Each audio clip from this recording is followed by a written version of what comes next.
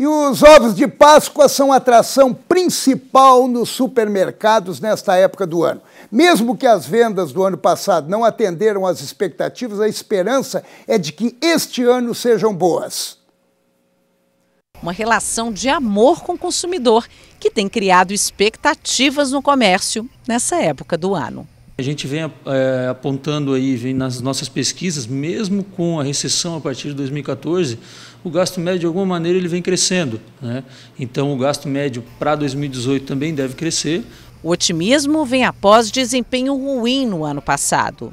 Em 2017 foram produzidas 9 mil toneladas de chocolate para Páscoa, o equivalente a 36 milhões de ovos. E se você pensa que esse número é muito, se engana. Dois anos antes, em 2015, a produção foi 10 mil toneladas a mais, uma queda superior a 50%. Em 2016, a gente teve uma alta do dólar.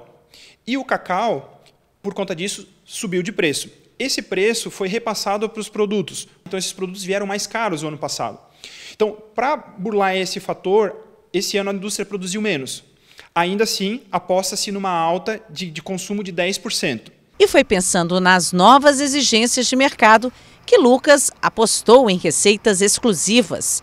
O setor de produção de ovos artesanais cresceu quase 100% entre 2016 e 2017. E as expectativas para este ano continuam promissoras. As pessoas estão buscando mais ovos diferentes, mais requintados, com mais sofisticação e sabor. A gente está com boas esperanças para essa época, vamos ver.